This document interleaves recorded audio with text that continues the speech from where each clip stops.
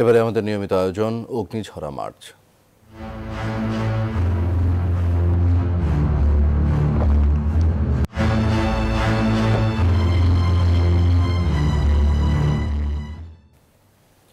মূলত সাত মার্চে বঙ্গবন্ধুর ঐতিহাসিক ভাষণের পরই স্বশাসিত বাংলাদেশের প্রতিষ্ঠা লাভ করে, যার নেতৃত্বে এবং কর্তৃত্বে ছিলেন বঙ্গবন্ধু শেখ মুজিবুর রহমান।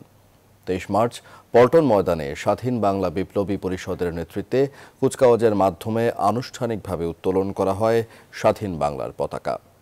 ঐতিহাসিক সেই সমাবেশে উপস্থিত ছিলেন তৎকালীন ছাত্রনেতা হাসানুল হক ইনু। বন্দুকের গুলি ফুটিয়ে নিজ হাতেই উত্তোলন করেছিলেন পতাকা। আরও জানাচ্ছেন সজল দাস।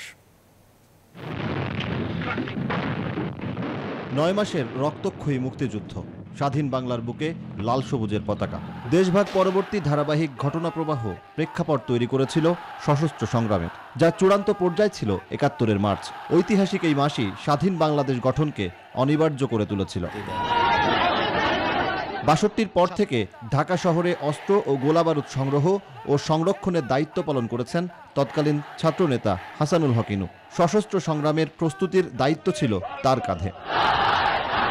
আমি ঢাকা শহরে এ, অস্ত্রপাতি গোলা বারুদ সংগ্রহের কাজ মূলত আমার ছিল। সশস্ত্র সংগ্রামের প্রস্তুতির কাজ আমার ছিল। সাত মার্চের ঐতিহাসিক ভাষণের পর মুসলিম লীগ ছাড়া অন্য সকল রাজনৈতিক দল ও নেতৃত্ব একাত্ম হয় স্বাধিকার আন্দোলনে যার মূল নেতৃত্বে ছিলেন বঙ্গবন্ধু শেখ মুজিবুর রহমান। এই মার্চ মাসে বাংলাদেশ পতাকা পায় জাতীয় সংগীত পায় এবং বঙ্গবন্ধুর নেতৃত্বে ও কর্তৃত্বে স্বশাসিত বাংলাদেশ পায়।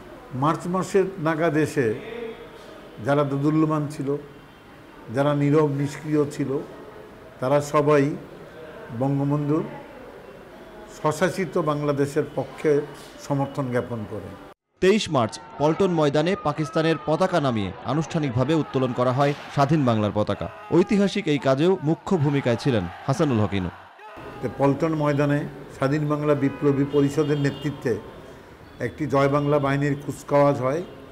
সেইখানে আনুষ্ঠানিকভাবে ঢাকাতে এবং সারা বাংলাদেশে স্বাধীন বাংলাদেশের পতাকা উত্তোলন করা হয়। আমি হাসানুল কিনু সেই দিন পল্টনে স্বাধীন বাংলা বিপ্লবী পরিষদের পক্ষ থেকে আমি স্বাধীন বাংলার পতাকা উত্তোলন করি, পিস্তলের গুলি ফুটিয়ে। বঙ্গবন্ধু আর বাংলাদেশ একই সূত্রে গাথা। তার ডাকে সাড়া দিয়ে সর্বাত্মক সশস্ত্র আন্দোলনে নেমেছিলেন বাংলার সর্বস্তরের মানুষ যা বাংলাদেশের স্বাধীনতাকে করেছিল ত্বরান্বিত। মার্চ মাসের একটা ঐতিহাসিক ঘটনা। Sajal Das news twenty Dhaka.